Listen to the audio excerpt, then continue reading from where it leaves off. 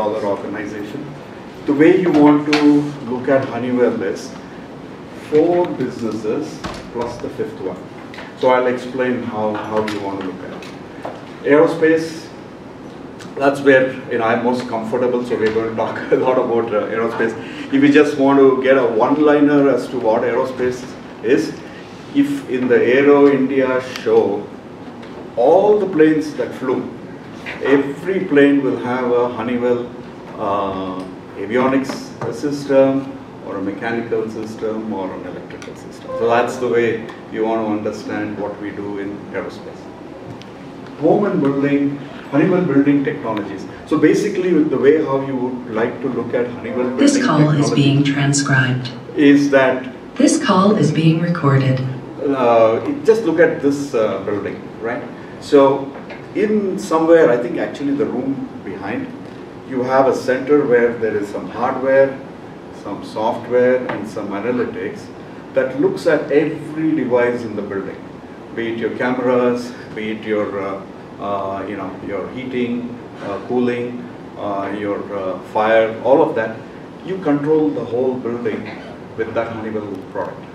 Now, is it just a building? No. You can do it with an airport, you could do it with a football field. So basically, that's the whole, uh, this, this business takes care of.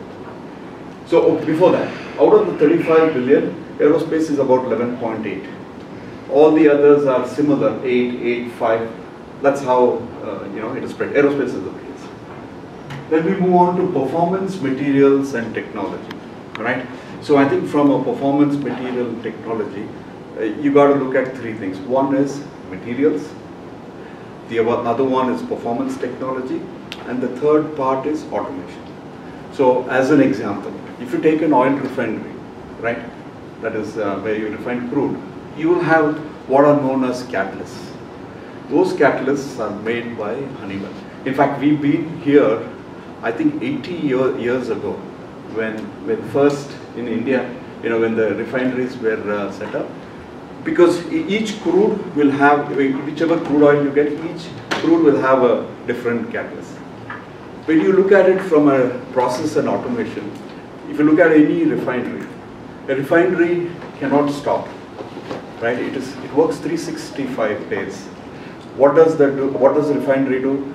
Opens a valve, closes a valve there, you know, moves from one tank to the other. So you have a whole hardware system, you have software, this is all machine control. Um, you know, these are the things which this this group does. And finally, safety and uh, productivity solution. Safety, these uh, are products, example, uh, our own masks, which we had during COVID, right? Or what the firemen wear when they go to, uh, you know, uh, stamp out uh, fires, or even in any hazardous kind of scenario. Those are the safety products. Productivity solutions, you can imagine, let's say, something like a, a Walmart, right? You have storage of all different products. You would also maybe having products move on a conveyor and you're supposed to read it very quickly, read the barcode. So all of those scanning, the mobility, all of that together is uh, this organization. So you, you have these four organizations and then you have the fifth, which is the Honeywell Connected Enterprise. So what the Honeywell uh, Connected Enterprise does is, the output of all these products in terms of an operation technology, you couple it with uh, IT, right? And then you have value-added uh, uh, solutions to customers. These customers are in the same segments.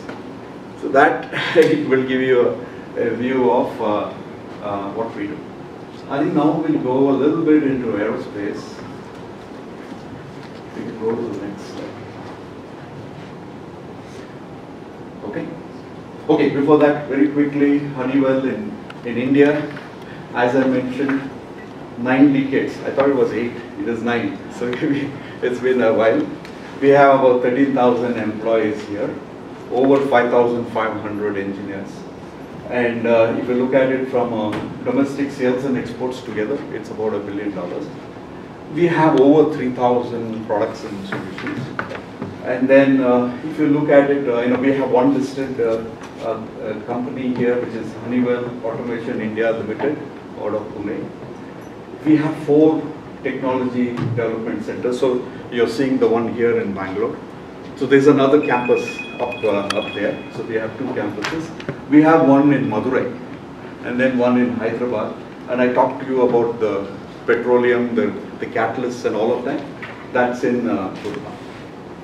In addition, there are you know Honeywell offices in all the major uh, cities, and we also have uh, manufacturing centers, Gurgaon, Dehradun, and uh, now in addition to all what we do in terms of selling in the in India, in addition to what we do from an engineering point of view, there are uh, other set of people helping the globe from a back office uh, point of view. So these are the enterprise IT, you have the global finance center, you have the integrated supply chain, HR excellence, and the operations. So this is in a nutshell what we do in, in, in India. I think the key point you have to take away is that it's been a while, you know, it's been nine decades. And, and from an engineering point of view, so I said I am here for 25 years, right? There are people who are here for even more. I think in this, we will be celebrating our 30th year next year. So that's the uh, quick uh, summary. Okay, so maybe I'll touch about uh, from an innovations point of view, right? So what is at the heart of what Honeywell is, right? If you look at and say what are what is Honeywell, I think it's all about controls and automation. The controls you see in aerospace, the controls you saw in those uh, uh, plants, right? All of that is our heart. On that, we look at how we have, we you know, we, we look at digital transformation so that we are able to connect people, businesses, reduce the, uh, you know, uh, have digital transformation. That's the, that's the part. And the third is the sustainability aspect. Now, from a sustainability point of view, a lot of things we do from a buildings point of view, from an aerospace, in terms of, you know, some of our SAF, etc. All of that would be, a, and, and we have innovation in each of these. So that's a part of our DNA. So maybe if you just go back for a minute. So the point is that all these years, a lot of innovation, most of the innovation is global and a lot of that significant amount comes from this place. With that, I will move to what we do here. So this, we call ourselves Honeywell Technology Solutions. As I mentioned, we started off in 1994 and over the period of time, we expanded uh, you know, into China, into the Czech Republic, and into Mexico.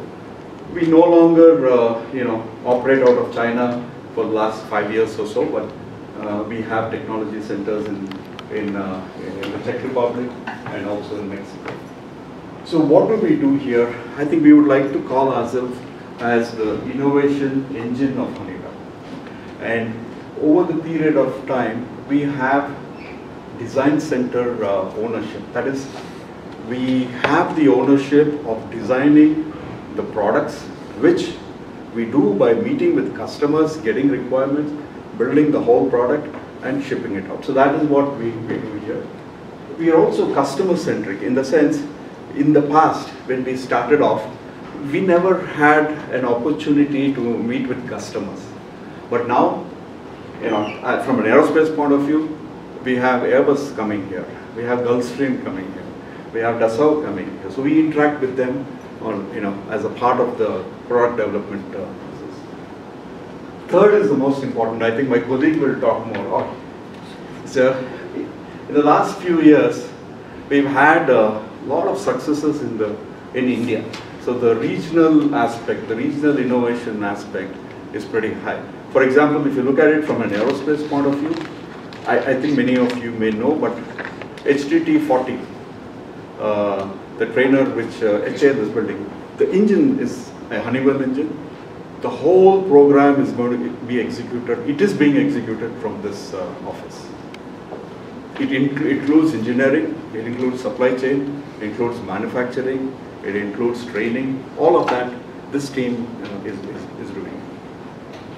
Also, I'd like to touch upon a couple of other aspects in terms of, you know, if uh, it's again very unique because if you take aerospace, you have the avionics part, which is hardware and software.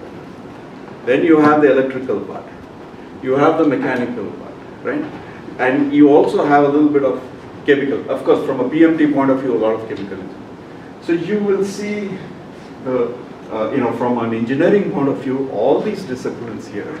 And we also have the ability to leverage these skills across the businesses as well. Okay, we'll go to the next slide. So, very quickly, I think you're going to see the first lab, which is where how to basically, if you really want to make a product, you got to have real good labs. You got to really do all your testing, all your capabilities you'll have to do in-house. So we will see that lab. Uh, you know, you'll get a better picture. The second one is, uh, again, we're going to see this lab as well. This is all our simulation uh, in, in aerospace. It also has simulation in the urban air mobility. I'll talk about that. The third one is in Gurgaon. So these are, uh, we call it the pilot UOP lab. I mentioned about different crude. You know, you want to uh, see how it works. So all of that you can do there. The fourth is in Hyderabad. This is called the Flight Operations Center. So what happens is globally you have business jets flying, right? From Hyderabad you can see where they are flying. You can communicate to each of these planes. Somebody may say, hey, I want to have uh, fuel uh, arranged in this airport, right? And so from here the team will, will help. So that's in Hyderabad. I think we'll spend time in the first two labs and maybe you can ask uh, more questions. Okay, can you? Okay, so this is uh, from an aerospace point of view.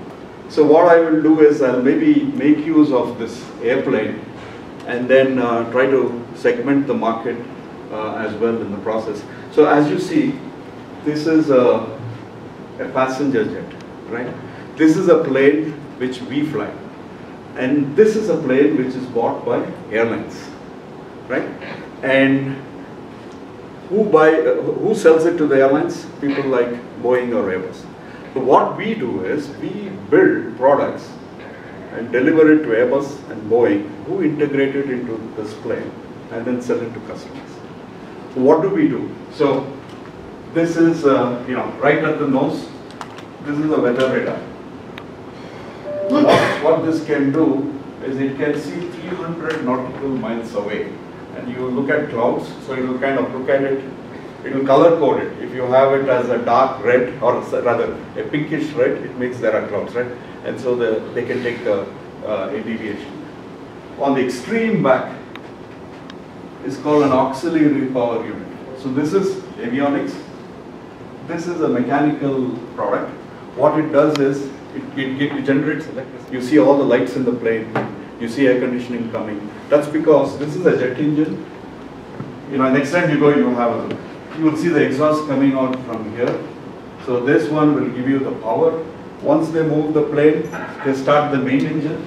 So this main engine for this plane is typically made by, say, GE or Rolls-Royce or Pratt & Whitney. Once they start the main engine, this guy gets disconnected. So that's why it's called an auxiliary power unit, because then after that the main engine uh, takes over. So Honeywell makes a lot of things, both on narrow body and also on wide body. And then you have all the other, uh, the whole of the lighting, all the exterior lighting, we do that.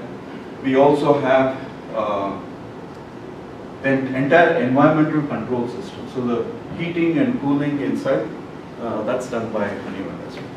So this is the, what you call, what we call as the ATR segment, right? So now you make that plane smaller, eight seat, eight seater, right? It becomes a business jet. Who are the people who buy business jets? Wealthy individuals. it's, a, it's a different segment altogether. It's like, if this is a bus, that's like a sports car, very specialized. So there, so in the lab I will show you, we do the entire avionics. We also make engines. So while this, this entire uh, plane you will see engines from GE, Pratt & Whitney, Rolls, for the business jets, Honeywell makes engines. So in this campus, apart from avionics, you can you also have engine technology. We have people, about 200, 300 people actually, working on this uh. So, so the way how Honeywell has uh, organized the businesses is all the electronics put together is called electronic solutions. All the engines related power is called engines and power systems, right? Honeywell makes the wheels and the brakes. We make uh, the ECS system as I mentioned. We also make all motors and actuators to move all of this. All of that put together is called the mechanical systems and right? And you also want to send the data out because uh, once the plane lands, you want to pull out the data, you want to see which product or which LRU, how is it functioning. All of that comes under services and connectivity. That is, you are pulling the data off the plane while you're flying and also when you, when you reach them. So that is, in a nutshell, the four uh, areas. This is a new one. It's called, you know, we, we call it as urban air mobility. This is something, when you are, you're going to see it in the lab as well. So the way you want to picturize this, fast forward about maybe six years from now. I don't know, I hope it happens in, in, in Bangalore, I'll be the happiest person. But very surely you will have a craft with uh, six people or five people getting off a building vertically. The engines move forward, it hovers, I mean, it, it flies, and then it lands. Everything will be through electric uh, propulsion. Basically, something like a Tesla in the sky, right? So that is what is the fourth business area, and that's where we are working a lot as well. I'll show you a few, uh, you know, products in the lab. Okay, any questions so far? Uh, Does uh, this lab cater to all the verticals of Honeywell or just aerospace largely? So all the verticals, but I'm going to show you only uh. I have no clue on, on the others, but this is this area I think. I, one more question, uh, you know, if you to lead, what are we doing here? Let's say on the UAM, is it cutting edge? Absolutely. Is there anybody else doing this for Honeywell globally? Yes, 50%, 50%. That's the kind of thing. And each one have our own uh, responsibilities. Any other questions? You said uh, you're making engines for the business jets out of Bangalore. No, no, globally. Globally? Yes. You have a team in Bangalore? We have a team which helps designing these engines. Okay, so 300 people, where are they? They are all based here. They are, they are, uh, I think there are about 50 in Hyderabad and Oh, 250 here. okay. So how big is this team globally for this engine? About 1,800 people. Okay. And uh, like, is it a new thing you started or you've been doing it this? Well, this we have been doing it for, for, for I think maybe 20 years. uh, Mhm. Uh, So I'll talk about what we are doing in, in future as well, because there's a lot of new technologies which we are also working on in the same Like area. somewhere you mentioned that you, you don't operate out of China now, you accepted China no, no, Honeywell is, Yeah. but earlier, when you say Honeywell Technology Solutions, the, the leader for Honeywell Technology Solutions is based out of India, who has operated, I mean, who looks at the teams, Honeywell teams in, in, in the Czech Republic, in, in Mexico, and earlier in uh, China as well. But now we no longer do with China. It's about five years ago, you know. But otherwise you are in China. Yeah, Honeywell is very much in China. How So many what- people in your aerospace business? How many people work in your aerospace business? So, I'll, I'll maybe, so we are about 3,000 people in Bangalore. in Bangalore, Around in India. Okay. In that 3,000 people, about 2,200 work in engineering. Okay. We have a set of people working in what we call as customer and product support, right? We also have people working in ISC, integrated supply uh, chain, and we have a few people working in the in the marketing side as well, commercial.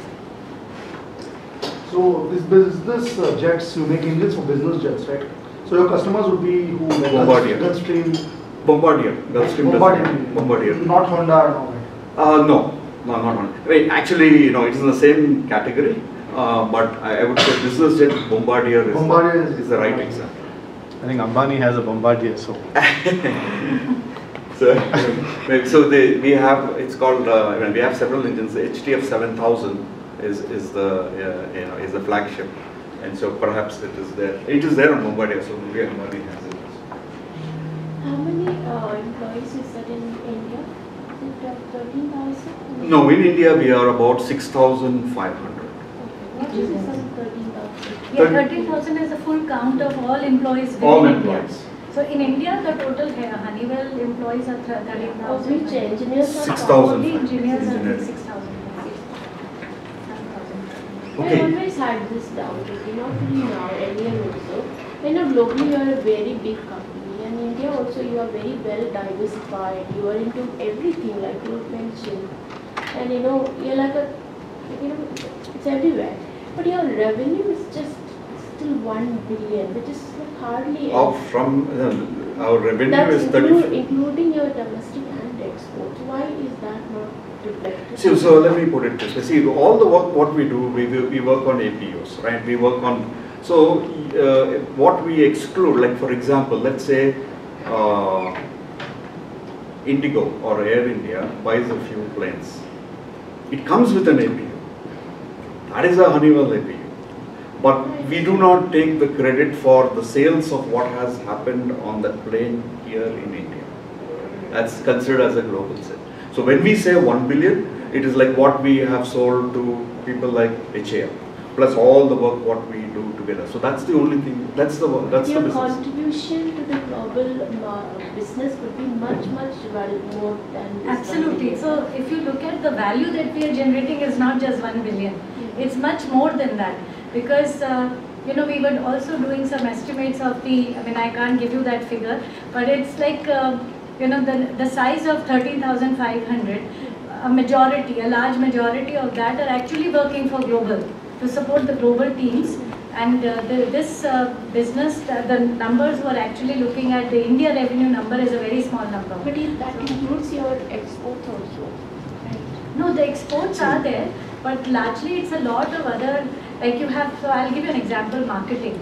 Global marketing, we don't have anybody as corporate marketing here in, uh, in India supporting the India business.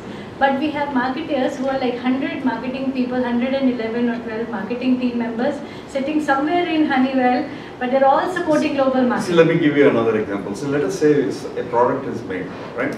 Or let us say 50% of all the engineering is done from here. That product could be getting billions. Yeah, But we don't count that, I mean, in the sense it's a part of the global, uh, yeah. So those Okay. revenues are not counted. then we don't count those. Okay, so very briefly, I mean, I said what, uh, from a, from a team point of view, so from an engineering point of view, out of the 3,000, we have 2,100, maybe about 200, we have about 100, and we have, I think, about 25 people. That's how we, we kind of uh, look at it uh, from, from an engineering point of view, what we do And as I explained earlier, electronic solutions, mechanical, engines and power systems, services and connectivity, right? So if you go to the next slide, I'll explain how this maps out. So over the years, what has happened, when you look at avionics, you look at engines, you look at mechanical, you look at hardware engineering, and you look at the, you know, the disciplines, system engineering, design and development, test, life cycle management, quality and certification. We put tick marks everywhere. It's complete end to end over the period of the last 29 years, 30 years. So if you if you look at it, uh, you know, uh, uh, okay, what do I, how do I, I'll just, I mean, uh, probably you can look at it, you know, every year we have 100 patents coming out just from here, right, in aerospace. The way you want to look at us is, out of the 2,100 people, about 600 people will have 17 years and above experience. That's the kind of, the folks who are working here are purely aerospace, you know, oriented, passionate uh, individuals. And we have spent our lives basically on each of these, uh, these projects. So that would give you the, the, unless you do that, you really can't be playing in, the, in a global kind of. So there, we will see all these labs. I mean, there are a few labs in the other building, so we're going to see four labs, right? Four. So we will go and see the, all of these four labs, so I, I will not uh, talk much about that. If you go to the next slide. Okay. So any questions before I hand it over to my colleague? In the drone space, what exactly? Yeah. So the question is, what do we do in the UAM space? So when we say urban air mobility, it means you have a craft in which people are there. So that is why it becomes very close to what we are doing from an aerospace point of view. If you remove people, then you would have, say, uh, if you want to use it for uh, carrying uh, goods or you know uh, uh, packages, then it is in a different uh, kind of because you, you, you do not have the people aspect. So on the people aspect, on the UAM side, we do the entire avionics. We do uh, the what we call as the um, you know vapor cycle control equipment, which is basically the air conditioning for for the craft. We also do uh, you know electric motors and uh, a lot of other navigation kind of. Uh, so that's that's one. On the, we do the same thing on the uh, you know on the services or rather the cargo kind of uh, crafts as well. Plus we also are doing a few things in terms of uh, you know uh, especially now in India we are trying to focus on this market where we do uh, specific navigation kind of equipment including anti GPS jamming all those Any unique um, capabilities here which either exist in limited amounts abroad, like any of the labs are only here in Bangalore. So what is unique to your facility here? Several. So like for example, uh, if you take uh, flight management systems, right? Uh, I would say a predominant, uh, you know, globally, who has to do flight management systems? It would be here because it all got consolidated over a period of time. Similarly, radar. You know, a lot of uh, capability in uh, in radar. Uh, that's in Hyderabad. I have two two such examples. You said you are certified pilots working. I mean, So- what do they do? Okay, so that's a good question. What, you, you you know, 35 pilots, what, are, what do they do? So these are people like, like all of us, right? So what we say is when you are working on avionics, when you are wanting to look at that, you should know how to fly. So we, every year we sponsor about 10 people to go through this uh, pilot uh, training. So they, in, uh, you know, they, right now I think there are about 11 of them in Mysore. So they are undergoing the whole training. They will learn to fly. They will do one solo flight, and after that, uh, you know, uh, they, they come back and then start working. Very few of them take this into a real profession, but the idea is to give an orientation of what flight is, how do you fly, the language what pilots speak, listening to the uh, ATC, uh, you know, all of those things they get, uh, and they come and teach the next uh, set of people because then it makes it easier for us to uh, work on these problems. Is that limited to any particular discipline or anybody in aerospace? Anybody in can apply? aerospace, anybody in aerospace, they go through a process. We have an internal process. They they have to write some DGCA exams they have to pass, and then they will be. What type of certification is it like? DGCA will give you a. It's called PPL. Ha, Private- no, private uh, license. Private license, it's not commercial. It's called PPL, private, pri- uh, private pilot license. So it's for mostly these turboprop, uh, small aircraft. Yes. And since when are you providing this? We've been doing this for I think about uh, 12 years. Yes. About 12, 12 to fif- uh, last 12, I mean, I think 15 years. 10, 10, 10, 10, 10, 10, you know, that's how the, yeah. some of them are gone as well. Right now we have 35. So somebody can come join you for this uh, course or? Uh, No, it's our employees. employees. Employees, employees alone, we uh, open up, the, uh, you know, the nominations in the beginning of the year, people apply. So they- what do they? I mean, do you have? any- They have like maybe a Cessna uh, wh- wh- whichever training plane uh, they, they have. They, Mysore is where we are, uh, we are flying. I think they did that in uh, Hyderabad as well a few years ago. And I remember when we started, we used to send them all to uh, in the US in Phoenix. But now, is now that we have everything here, uh, you know, we- that's what we're doing. If they if they're selected, but they don't make the cut in the end, he doesn't get or he, he or she doesn't get his PPL. Any action against them or it's okay? It's a, I mean, it's a big deal. See, they are doing this over and above the, Their the work, right? I mean, it's, a, it's actually, they're spending their weekends, they will take a one week off, and it's a big deal. So, Nice. Okay.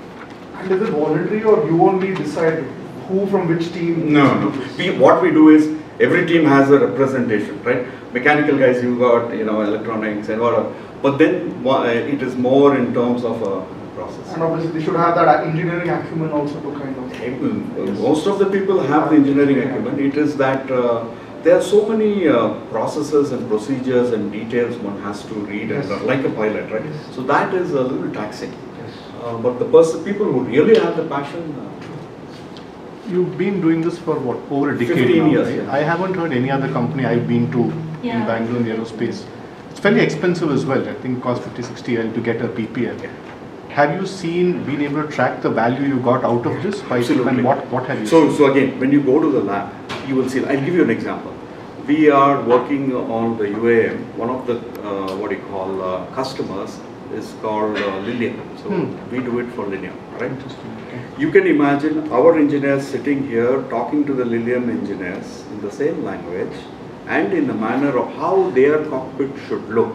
Based on that, we designed this. Now, only when you know all of this at the systems level, can you even participate in this.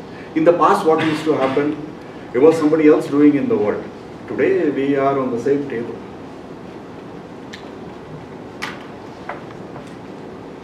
Women are also there in.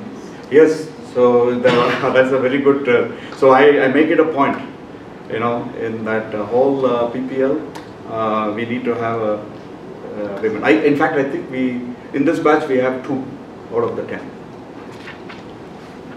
How many so far have gone to this program over the years? The PPL, Yeah. I think there would be around uh, 50, 55. In, in last 12 to 15 years that you mentioned. See, we started off with small because to, to your point, it is expensive, Yeah. right? So, so we started off small, but la, la, this year I've been, we've been able to afford about 10 people. Yes.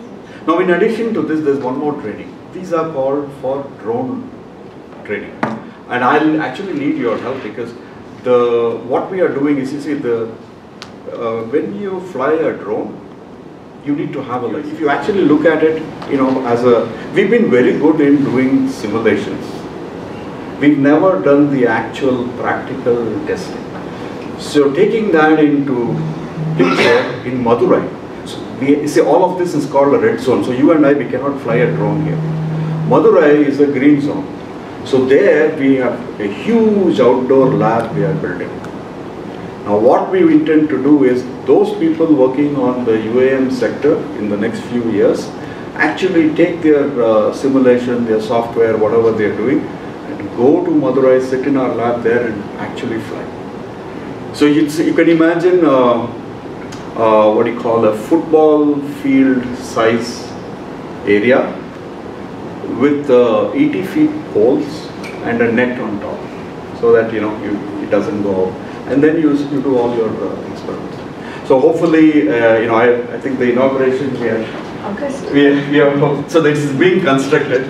I think we'll have, uh, hopefully we'll get all the What media. of the area? Uh, you would be uh, maybe about 200, uh, okay, uh, half, a, half the size of a football field is what. So I think we will be, you know, calling the media and things like that. That's only for the drone Yeah, it's for, That's- and what we intend to do is not just for us. Yeah. In fact, we already tied up with the local uh, colleges. What we are doing is asking them to have this in their uh, curriculum so that the students can come. Uh, they do the theory class in, you know, uh, in the in the college, and then they can come and actually fly. And then maybe we, you know, it is for us it is good that we can hire a few, but we can't hire more all of them. But at least we are sharing the infrastructure with the environment where people can come and do. We also down the line want to do something like, you know, have competitions, have different colleges come. That way it will kick off this whole boom where you are beyond uh, sitting behind a desk, but actually practically uh, doing things. For this lab that you are doing, um, you also tying up with startups in. So we are not tying up with startups, but what we are doing is we want to collaborate with startups. If they want to come and test their algorithms, you know, they can come and uh, use the space. That's, that's what. So typically, what are these algorithms? Let us say you have a drone, right? It goes up. You want it to see a, a marker, like a similar to your QR code. Looking at that through a lidar or something, it has to sense and come and land. Now you can do that entire thing in software and you can simulate it. But the fun is when you go and put it in the in this craft, take it up, may see how it uh, do do all. Uh, I mean, and then uh, the other thing is uh, formation, swarm formation, all of that. We can we can actually do all of that. So it's not necessarily for your staffers alone, it's basically, Ba- like I I would say basically it is for us, but we want to have this opened up because more and more people get into it. As a country also, you know, we, we get that uh, capability. So if you see in the past, right, things like robotics, we, we are not there, hardware, we are not there because we never had the, the what you call, the infrastructure for that. So hopefully this will help, uh, and if, if it becomes a success, I'm sure others will also take up. the maritime, we call maritime patrol. Of course, it's not, it does maritime patrol, but it also does patrol in Ladakh and all of those areas right now. The Poseidon. And then there is the uh, Netra, which is basically something called eye in the sky. So 200, 200 kilometers uh, far away, one airplane takes off, the radar basically spots it right then and uh, alerts you. All of these on the left side are coming, coming with heavy Honeywell equipment already. So there's a, there's a strong presence of the equipment with our forces, armed forces, air force and army and navy already. On the right side are the platforms that India builds through HAL. So you have the, the Dorniers, they build at HAL Kanpur, the HTT-40 engine just spoke, getting built in uh, Bangalore. You have Tejas built in Bangalore again, Hawk, Dhruv is a helicopter that's done in helicopter division, all of this. In all of this, if you see our equipment, there are certain ones that are marked in blue. These are technologies that we have localized in India. These are done in India. So this is Make in India, in a sense, you know, long before, I mean, making in India long before making in India. Because the engines, for example, the military engines are built at HAL. They don't go to us anymore. They're built at HAL, they're maintained at HAL, they're repaired at HAL. We don't, we don't touch them anymore. This has been done since 1983. 300 engines are now flying and with HTT40 around another 88 100 engines we will have almost 500 engines flying turboprop engines flying in India made by India. HAL altogether the environment control systems these are mechanical systems that basically keep the environment inside the aircraft similar to atmospheric environment at sea level. So these are made at HAL in, in Bangalore itself. They are made at HAL Lucknow. All, all of them are essentially made, repaired, uh, their workshop is at HAL. So this is this this whole slide essentially talks about two things. One is a heavy equipment participation that we have already in the armed forces. And the second, just because we have the equipment, doesn't mean we are kind of letting it go. We are continuously pulling that equipment into the Indian ecosystem because uh, just imagine today we have a lot of uh, we have a lot of uh, information in the paper about the GE engine deal nowadays. This engine, this was a military transport engine, but it was done in 83. So an American company convincing the American government to open up the engine manufacturing to an Indian company back 40 years ago was a Herculean task. I mean something whoever sat on both sides of the table at that point in time has actually achieved literally the impossible because 83 you can understand the dynamics was far different than what it is in 2023 right. Similarly, once we had that, the precedents allowed us to do other other equipment as well. There are a whole lot of other uh, you know opportunities or pursuits that we are engaged with the Minister of Defence, which I think you will come to know as and when it reaches some sort of maturity. But each of those steps have a strong component of making in India. We do not want to take back things to the US if we have a partner with due capability already hosted here. If the capability is presently not there, then that's a bit that's a bit of a partnership uh, discussion as to who can improve, etc. If you go to the next slide. So all of these categories, we are essentially working uh, where we have a make in India aspect. The fighters, a whole lot of equipment will go in which will be made at HAL as well as other partners. You know, the multi-role aircraft has things that are already built in HAL right now. The UAV ones have our equipment that we are discussing with, you know, local partnership that can come up.